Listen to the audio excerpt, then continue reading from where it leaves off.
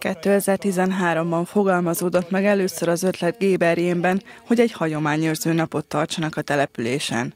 Egy akkori líderpályázatnak köszönhetően lehetőségük volt létrehozni a szatmári táncokat és ízeket felvonultató rendezvényt.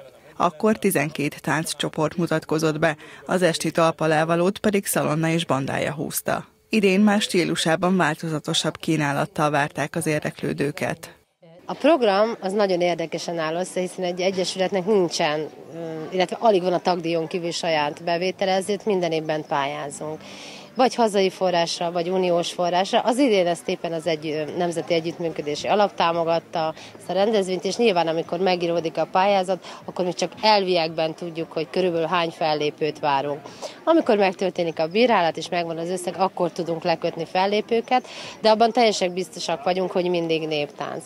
A rendező egyesület eddig székelyföldi egyesületekkel volt kapcsolatban, idén azonban Kárpátalja felé is nyitottak, így onnan is számos fellépő színesítette a napot. A főzőcsapatok között pedig a testvértelepülés és a környező falvak is megmutatták gasztronómiai sokszínűségüket. Szatmári étkek gasztroversenye. Ez azért különleges, mert nem mondjuk meg, hogy mit főzzenek. Magyarul ez azt jelenti, hogy bármelyik csapat azt főzi, amit akar. Tehát magyarul azt kértem mindenkit, hogy hozd el azt az ételt, ahonnan jöttél, és főzd meg nekünk itt.